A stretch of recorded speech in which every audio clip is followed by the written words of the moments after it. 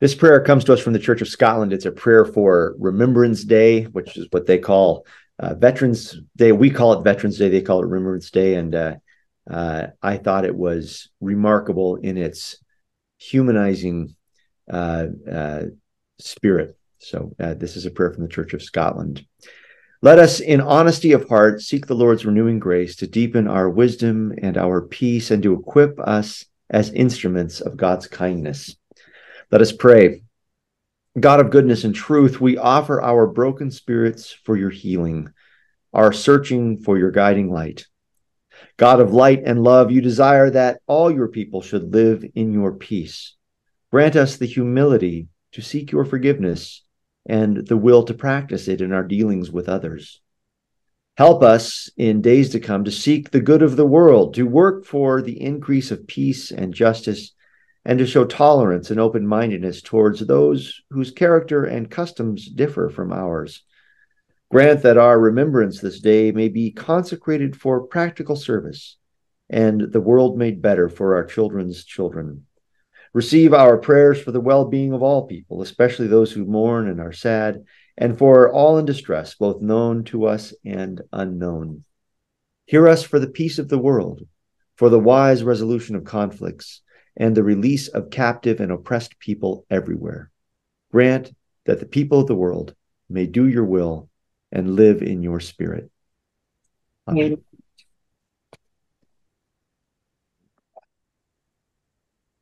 That's what we're going to be talking about tonight. And uh, we're going to start by hearing from uh, some faith leaders. And for that, uh, I uh, I will turn this over first to my friend Ali. Uh, good evening. Uh, my name is Ali Sheikh Islami. I am one of the board members of the Islamic Culture Center of Northern California. I start with Bismillah ar-Rahman ar-Rahim, in the name of God, the Lord of mercy, the giver of mercy. And Assalamu alaikum, with the greeting of peace. Dehumanization or demonization of others fuels the worst brutalities that human beings inflict on one another. It is a worldwide problem with deep historical roots. It is a growing problem because of economic inequality, mass migration in response to climate change, the growth of authoritarian politics, and the impacts of social media. Dehumanization makes oppression, war crimes, crimes against humanity, and above all, genocide possible. That is why we should all care about dehumanization and learn how to resist it. Also, it is an important issue to study because we all can dehumanize others. We should not think of those who dehumanize us as monsters. They are human beings like us, and when we dehumanize them, we fall into the same trap. Unless we accept this and unless we are vigilant, we will be easy prey for dehumanizing propagandists. So, what is dehumanization? One of the better definitions and writings on this subject has been done by Dr. David Livingstone Smith, professor of philosophy at New England University. I highly recommend reading his books on the subject, especially on inhumanity, dehumanization, and how to resist it, published by Oxford University Press in 2020. I am borrowing some of his teachings from the book for my talk. Uh, he defines dehumanization as a kind of attitude, a way of thinking about others. To dehumanize another person is to conceive of them as subhuman creature. The cruel treatment of others is the result of the dehumanization process. People can dehumanize others without mistreating or describing them in animal-like ways. To dehumanize others is to think of them not merely as inferior human beings, but as subhuman creatures. Dehumanization is both political and psychological, and we must understand both aspects and how they interact. On the psychological level, the beliefs on race lie at the heart of the dehumanizing process. According to the ordinary but totally false conception of race, there is some deep defining property of each race, the racial equivalent of an atomic number that is located inside a person and which all and only individuals who belong to the to that race possess. This view of race does not make any scientific sense, and it has a firm, but it has a firm grip on our imagination. Dividing human beings into races, into our kind and their kind, is the first step to the road to dehumanizing them. We first set them apart as different kinds of humans and only later convert them into subhuman creatures fit to be exterminated or enslaved. Another critical psychological concept that plays a role in dehumanization is the concept of psychological essentialism, which assumes that humans have an essence and some people do not have that essence even though they look like humans. From the, hum- the humanizer perspective, dehumanized people are subhumans, passing and hum- as humans because their humanness is only skin deep. The political factors are equally important in dehumanization. Dehumanizing beliefs are ideological beliefs, and similar to all ideological beliefs, it aids with oppression. Other important political factors in dehumanization are the use of propaganda, by the political leaders through dangerous speech, playing into people's insecurities and raising demons in people's minds, and then offering fantasies to rescue them from those demons. Powerful social forces interacting with powerful psychological ones produce an attitude to see others as less than human, and once that take root, we can commit acts of atrocity that we would never have imagined ourselves capable of performing. Human beings naturally tend to see others as human beings. The tendency to see them as subhuman creatures is imposed on us by people who have investment in getting us to harm others. To resist demonization, we must take political action against those that perpetuate dehumanization. We must learn about genocide, colonialism, and racial oppression and resist the temptation to think that we have passed those things behind us. We need to learn the darkest history of our nation, our religion, or ethnic group, and tell others what we have learned. It is important to be mindful that the scene of resistance against dehumanization is not always in the voting booth or a protest march or at Boldly pulpit. Most of our resistance is in everyday life and interaction with each other. Also, the psychological process of dehumanization might be reversed through humanization efforts, the development of empathy, the establishment of personal relationship, relationships between conflicting parties, and the pursuit of common goods. Unfortunately, during the recent horrific events in Israel and Gaza, we have witnessed and are witnessing dehumanizing language and actions by both Hamas and Israeli leadership. However, there is a massive imbalance of power between Hamas and Israel that makes the dehumanizing language uh, by Israel's leadership very alarming. So much so that yesterday, in an opinion essay in New York Times, Dr. Omer Bartov, a prominent professor of Holocaust and genocide studies at Brown University, wrote, quote, It is time for leaders and senior scholars of institutions dedicated to researching and commemorating the Holocaust to publicly warn against the rage and the vengeance filled rhetoric that dehumanizes the population of Gaza and calls for its, for its extinction.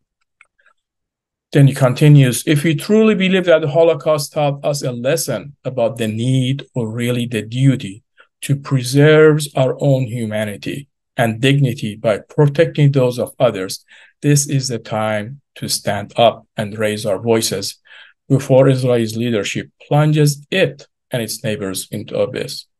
There is time, there is still time to stop Israel from letting its actions become a genocide. We cannot wait a moment longer.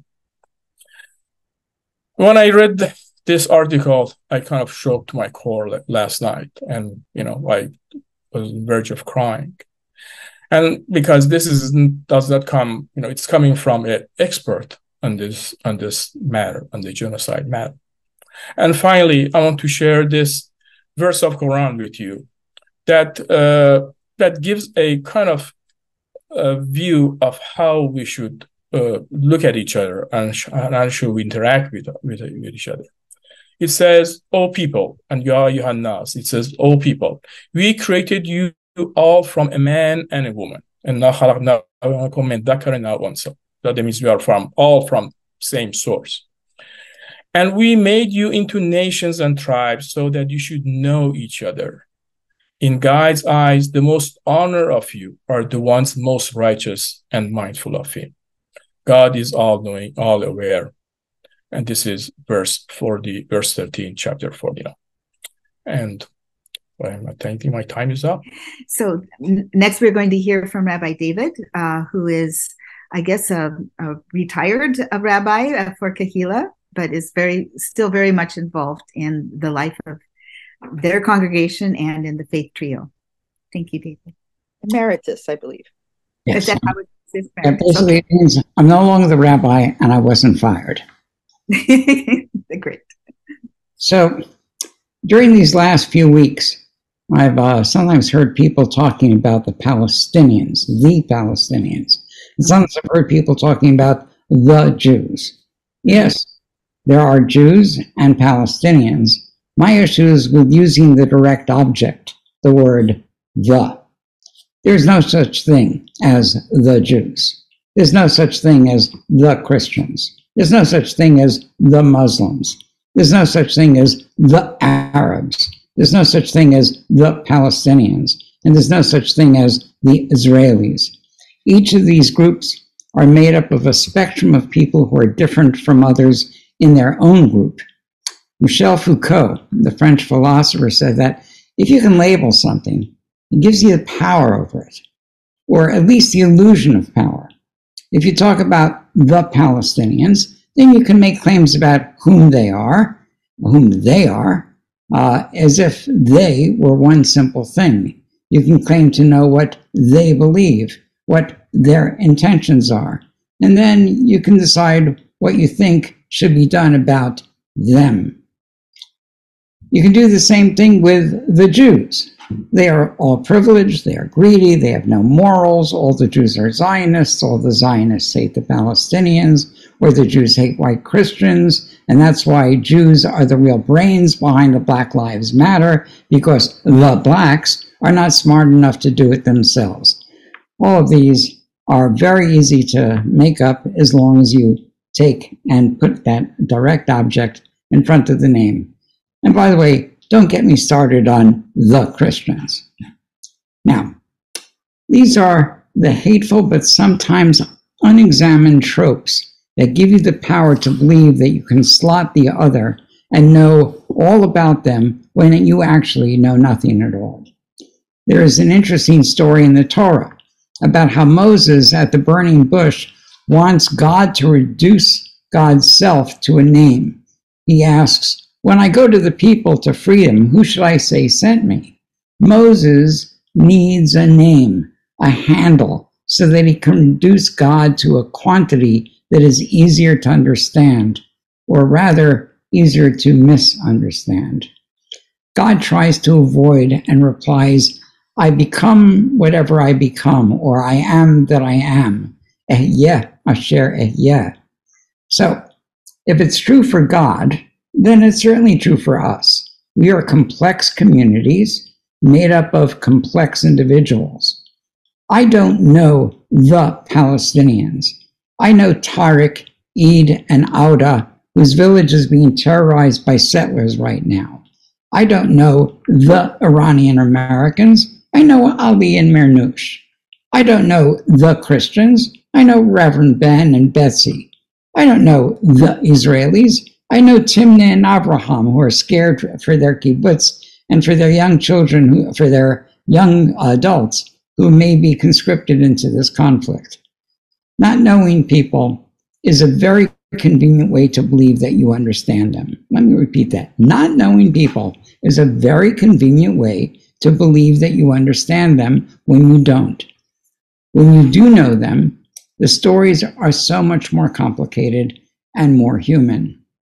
And that's really the origin of the faith trio. 9 11 happened, And we could have allowed our stereotypes to go wild. For over two decades, we have, uh, let me say this again. For over two decades, we have not, uh, we have come not just to know each other, but to know how much more we don't yet know as we remain together and as we continue to learn from each other. And so, as we get to know each other, we get to know how much we don't know about each other, and we continue. This pursuit actually will never end because we find each other in our depths rather than in our surface. So, thank you. Be back again? I don't know. Anyway, thank you very much, Rabbi David. And now our third speaker uh, will be uh, our pastor at uh, Montclair Presbyterian Church, Reverend Ben. And please spotlight him because it's his turn now to speak. So, um, as I was thinking about this theme, how do we oppose demonization and affirm our common humanity in the face of hate and violence? I found myself doing what what Ali said we should never do, eh, which is I drifted over to Facebook. It's a common problem I have when I have writer's block. But there I was doing what I shouldn't do. Uh, I mean, ordinarily, I would agree with that. I would say stay away from Facebook and all other social media while trying to write anything of importance. But God works in mysterious ways. And, and when I went to Facebook, I saw that someone had posted a meme on Facebook, which was a quote from Aldous Huxley.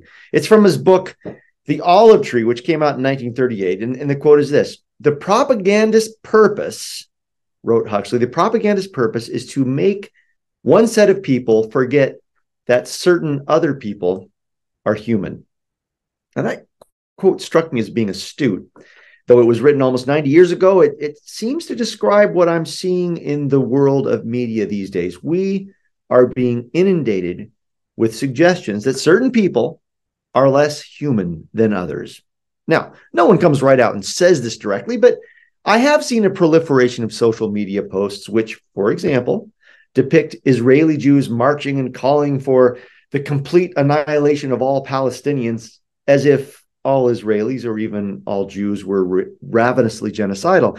And in more mainstream media, I have seen Palestinian, Palestinians presented in a way that makes them seem almost invisible and therefore less human. When Israelis are harmed, the Western media almost always names the victims and shows their pictures, as well they should. But Palestinian victims of Israeli violence are much less likely to be named or shown. When, when American citizens were victims of Hamas' unforgivable attack on October 7th, we knew about it. But it took a little while for the media to mention that there were hundreds of American citizens stuck in Gaza because the propaganda presented by the media won't work if we know that a lot of the Palestinians are American citizens, just as a lot of Israelis are also American citizens. In the same way, I saw a lot of photographs and, and heard a lot of biological details about folks who had been kidnapped by Hamas. And those photos and those stories broke my heart, as well they should have.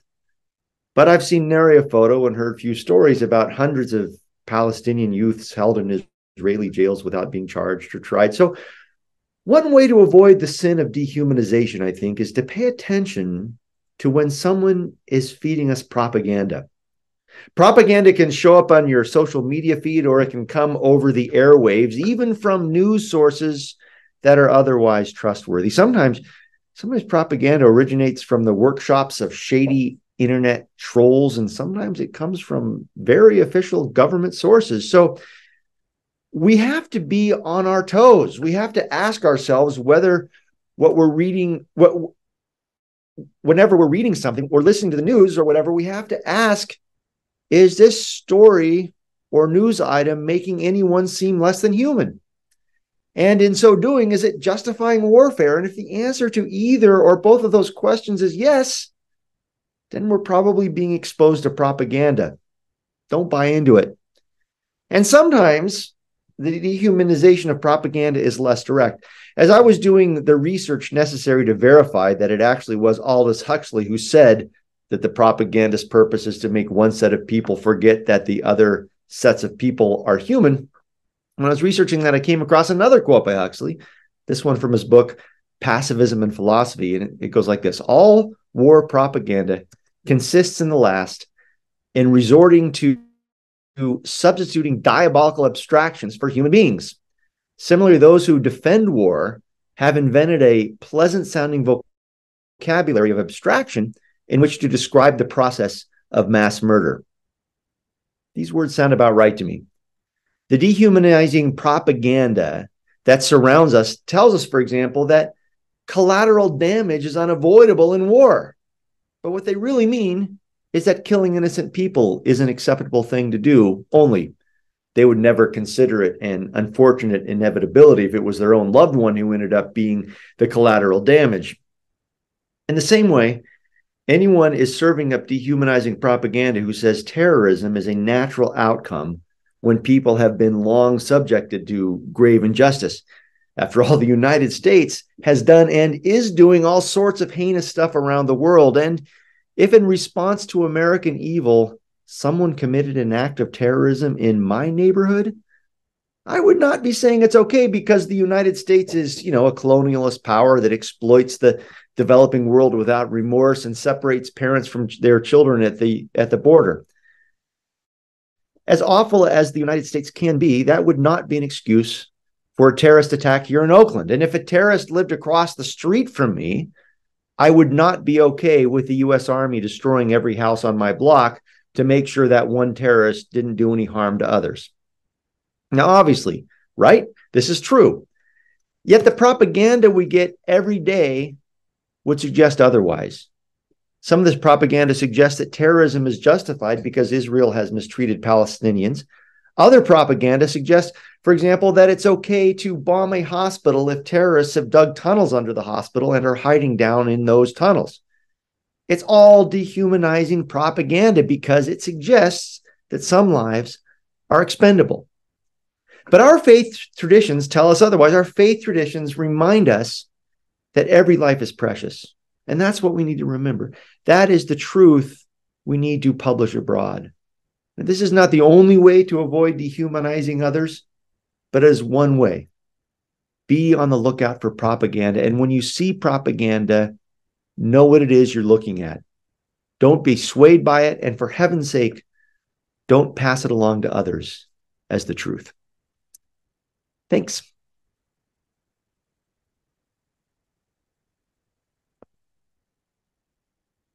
Betsy, I think you're muted.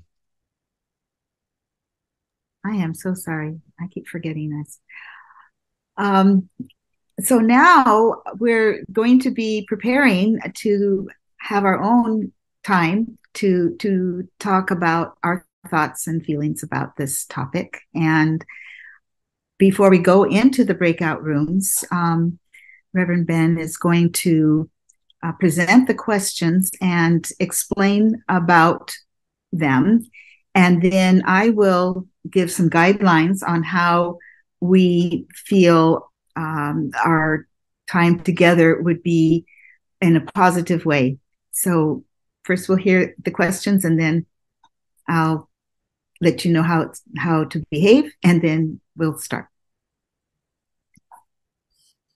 Okay, so the, the, the questions are here uh, before you, and um, we uh, we understand that you everybody in the in the breakout room may not have an opinion about all these questions, or some people in the breakout room may have too many opinions about all of these questions. And so, what we hope you'll do is is look at the questions and and uh, uh, feel free to answer the questions which most prompt your soul.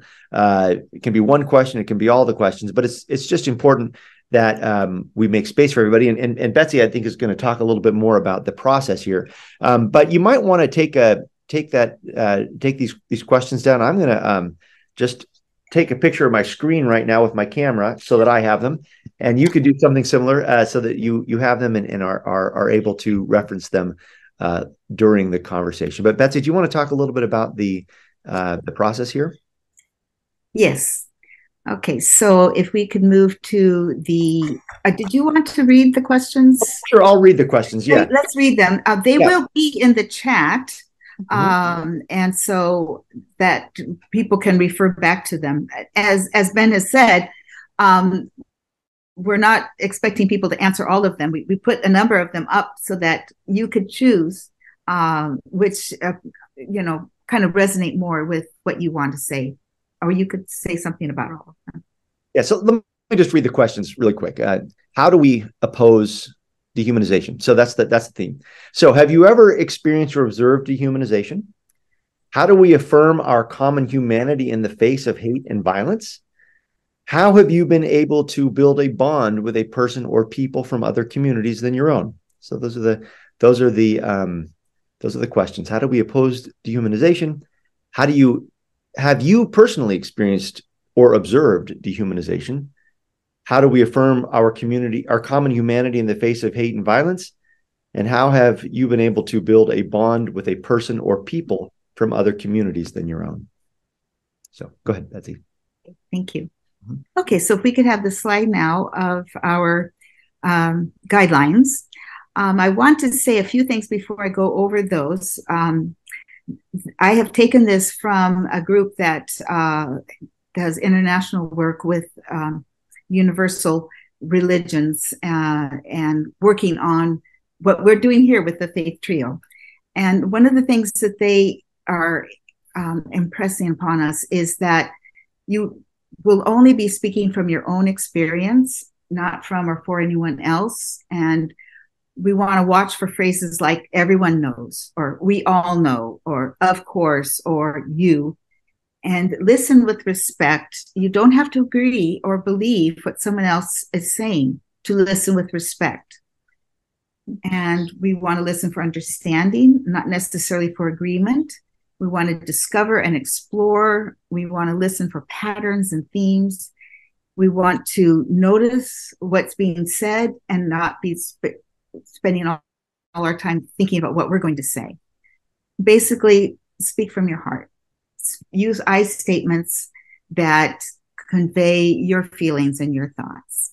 So now for the actual guidelines that, that we have listed here, we want you to be sure that everyone mutes themselves while the other person is speaking. One will speak at a time. Listen respectfully with an open heart. Wait until it's your turn to speak. Do not use your time to reply to what someone else said, but to say what is true for yourself. And again, use I statements. I think this or I feel this. What is said in the breakout rooms stays in the breakout rooms. There's some confidentiality that is expected. But if what you learn, uh, please take it with you. It leaves with you. So a lot of interesting people's experiences and learned from each other. Uh, and we only have a little bit of time now. Um, it was suggested that I read a statement that our committee, uh, the couple of representatives from each of our congregations work that together. Um, every month we talk about things and plan things like this. And because of the events uh, that have happened since October 7th, uh, we took some time amongst ourselves to come up with a statement. And I would like to read that now to you. I'm um, just to say that this statement really comes from us in the committee as individuals rather than representing each of our congregations, although mm-hmm. many people in our congregations might agree with us. This is mm-hmm. our statement. And yeah. it comes from our process of being there facing each other. Yeah. Okay. So this is a simple statement from our hearts, October 2023. We are members of the Faith Trio group composed of people of three faiths Muslim, Jewish, and Christian. We are members from the Islamic Cultural Center of Northern California, Kehilla Community Synagogue, and Montclair Presbyterian Church. We are writing as individuals rather than as representatives of our congregations. We speak as colleagues in this coalition that has persisted for over 20 years, where we have celebrated together, mourned together, and learned together we know that we are not separated by our faiths. In this time of horrid violence in Israel and Palestine, we remain united in our affirmation that violence cannot end violence, war crimes cannot justify war crimes, enmity cannot nurture peace, and that every life is a gift of the divine, and each of us is in the image of God, Allah, Elohim. Teachings in the Jewish, Islamic, and Christian traditions teach us that the value of a single human life is beyond measure. For example, in almost identical language, the Talmud and the Holy Quran affirm that to kill a human being is to kill an entire world. The killing must stop immediately. The United States must use its power to stop and not fuel the violence. We also know that without justice, there is no peace. Without peace, there is no justice. We affirm that the Palestinian people and the Israeli people must have peace, justice, security, and self determination. And this cannot be secured by violence, occupation, or expulsion. We will support whatever arrangements of sovereignty would secure these ends. We continue to mourn all who are killed on every side of this violence, and we pledge to affirm our common humanity and to stay united in community to affirm and to seek peace and justice. Okay, thank you. So it's we have three minutes, um, which is just enough time for our final prayer. Uh, and I was not. Um, I, I, need to ask the host if uh, Rabbi Bresner is here from uh, Temple Sinai. Has she come? She is, and she is being spotlighted. Oh, excellent. There you go. I'll wait till I see myself spotlit, spotlighted. There we go. Great. Wonderful. Um, thank you for coming. Of course. Thank you for having us. And uh, it's wonderful to be here in community. Um, I want to first just thank everyone who put together this event. Um, and thank you all who uh, brought such thoughtfulness to the setup of this event. Um, I want to close um, with, I think, a, a, important teaching from Jewish tradition that I think is very relevant for all of our faith traditions or non traditions. Um, this idea that comes from a teaching in Pirkei Avot, which is a set of Jewish teachings that we call the ethics of our ancestors, is what Pirkei Avot translates to. And it's the idea, um, we learn this in chapter 2, verse 5, where it says, Bimakom she'en anashim lishtadel lihiot ish, hishtadel lihiot ish, which means in a place where no one is human, where there are no humans, strive to be, strive to act as a human.